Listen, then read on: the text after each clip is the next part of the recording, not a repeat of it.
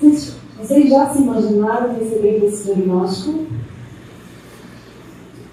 Alguns de vocês já conviveram bem de pertinho com alguém com essa doença? Um amigo, uma família. Duro, né, gente? Eu sei que é muito duro falar de câncer.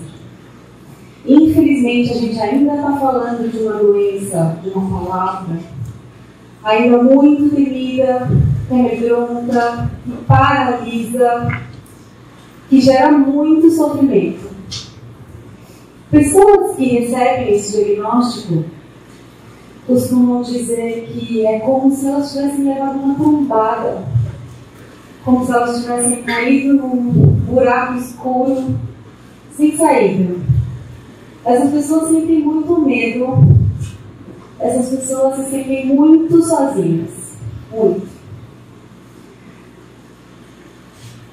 Gente, eu estou falando de 600 mil novos casos de câncer.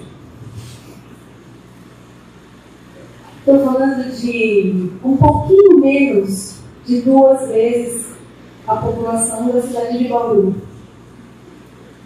A gente sabe que uma epidemia de câncer está chegando. A gente sabe que de cada três pessoas, duas poderão ter um diagnóstico de câncer.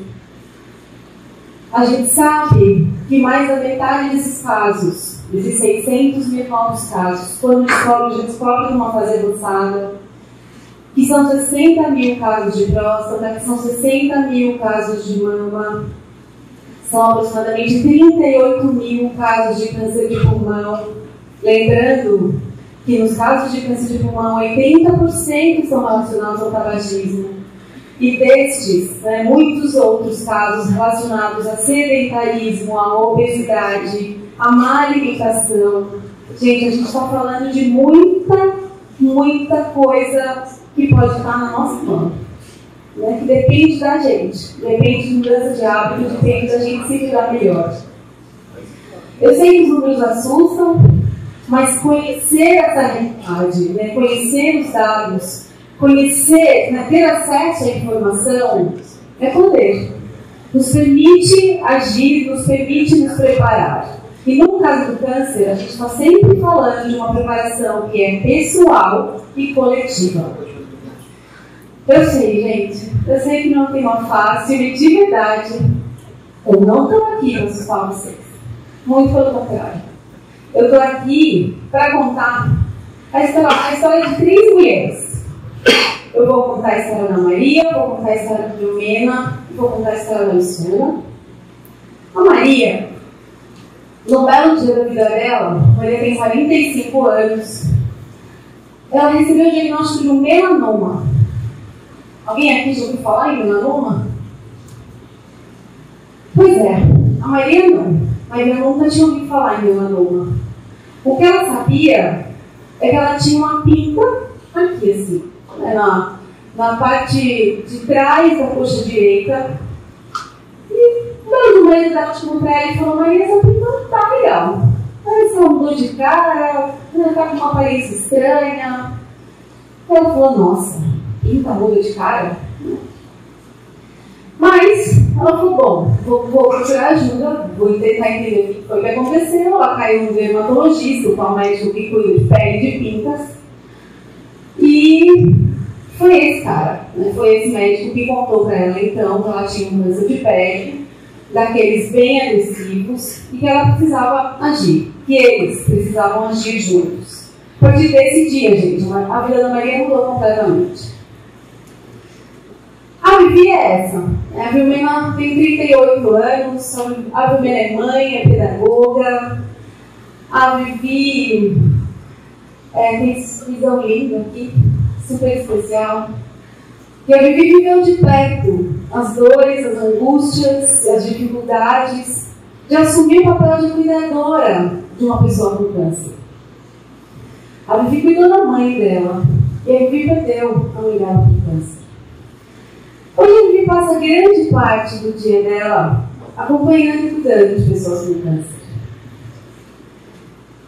primeira pessoa é a Luciana. Luciana tem 44 anos, a Luciana é casada com Pedro, ela é de Tatuí, ela é mãe do Bruno e do Frederico, que são umas coisinhas mais lindas da vida dela. Ela é, tem uma família incrível, ela é muito ligada a essa família. E a Luciana tinha uma coisa, tinha uma certeza. Ela sabia que ela queria cuidar da dor do outro. Para isso ela fez psicologia. Mas isso acho que a dor do outro era muito fácil na família dela entender.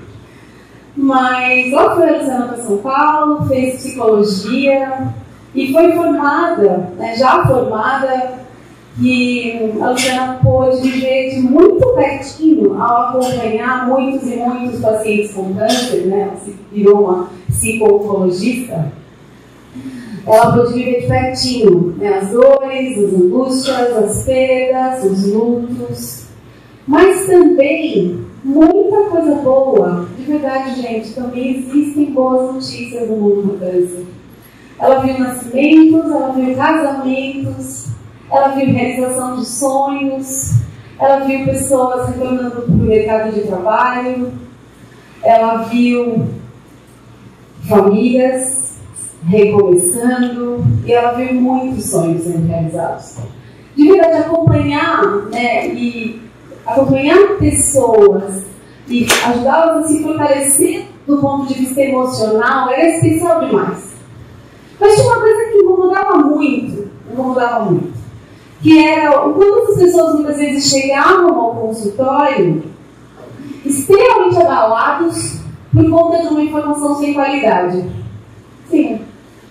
Luciana, está aqui nessa folhinha que eu imprimi aqui no. Google que eu tenho 28% de chance de taxa de sobrevida. O que, é isso? Né? Para que serve essa informação? E isso realmente, assim, mexeu muito com ela, ela foi estudar, e encontrou muita informação a respeito. E sim, gente, faz muita diferença. Uma informação de qualidade, útil, que seja adequada, que tenha referência, de uma informação sem qualidade, sem cuidado, sem curadoria, sem olhar especializado. Faz muita diferença. E aí, é, a Luciana resolveu que a partir dessa informação, né, sabendo dessa informação, que essa é a informação que pode se transformar em conhecimento, que essa informação pode fortalecer e empoderar, inclusive no mundo do câncer. E a partir disso, então, a Luciana conseguiu tirar o projeto do papel e deixou, né, que acho que nessa nessa mudança toda, nesse processo todo, talvez a empreendedora que estava lá dentro conseguisse se juntar à história da psicóloga. E aí sim, né, o, o projeto site Oncoguia nasceu.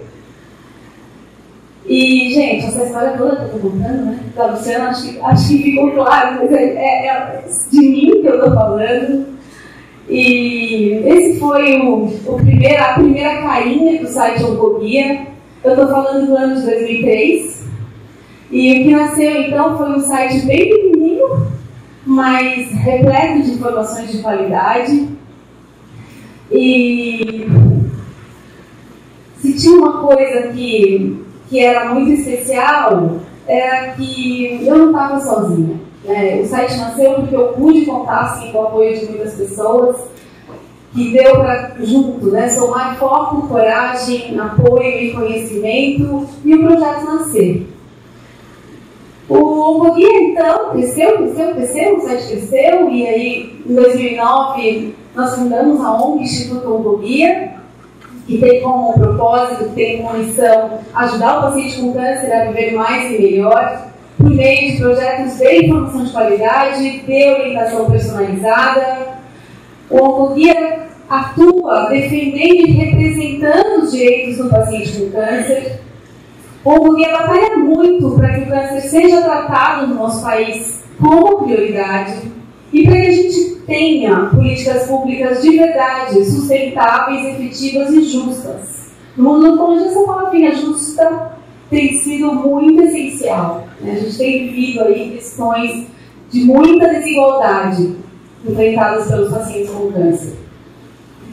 E aí, gente, eu vou juntar um pouquinho a, a história dessas três mulheres e a história é, do guia. E o que aconteceu foi que a Maria, um dia, falaram para ela que tinha uma ONG que dava informação. Ela falou, dá, né? Alguém dá alguma coisa? Mas ela resolveu ligar. Ela ligou para o guia e quem atendeu e cuidou da Maria nesse dia foi a Vivi. Que a Vivi é atendente do Oncoguia e a Vivi cuida, né, uma das nossas atendentes do canal Câncer, que é o programa de apoio ao paciente por, por, por meio de um número 0800. Quando Vivi atendeu a Maria, o que a Vivi percebeu foi o quanto a Maria estava, sim, precisando de muita ligação personalizada, mas a, mas a Maria estava precisando de colo. Ela estava muito angustiada, muito. A voz dela estava embargada, ela estava quase chorando. E a Vivi fez o que a gente faz, gente, antes de qualquer coisa. Né? A Vivi deu colo, a Vivi acolheu, a Vivi deixou a Maria falar, né? a Maria se sentiu de verdade, pôde se sentir ouvida. E, claro, né, ajudou a Maria com as informações que ela precisava. Ela estava enfrentando um monte de problema após o diagnóstico de câncer. Ela teve informação sobre auxílio doença, ela teve informação sobre como ter esse seu medicamento aprovado pelo, pelo plano de saúde, porque a princípio ele tinha ligado. E ele me ligou o telefone muito mexida, muito preocupada, com medo né, da, da Maria não conseguir ir atrás dos seus direitos. E foi ali a história da semana não comia, todo mundo com medo junto com a Vivi. E uma semana depois, ele ligou então para saber da Maria e, e junto com ela ali toda a expectativa e de verdade quando ela atendeu, ela já viu que a Maria estava com uma vozinha muito mais forte e rapidinho a Maria falou, Vivi, eu fui, né? eu fui, eu consegui.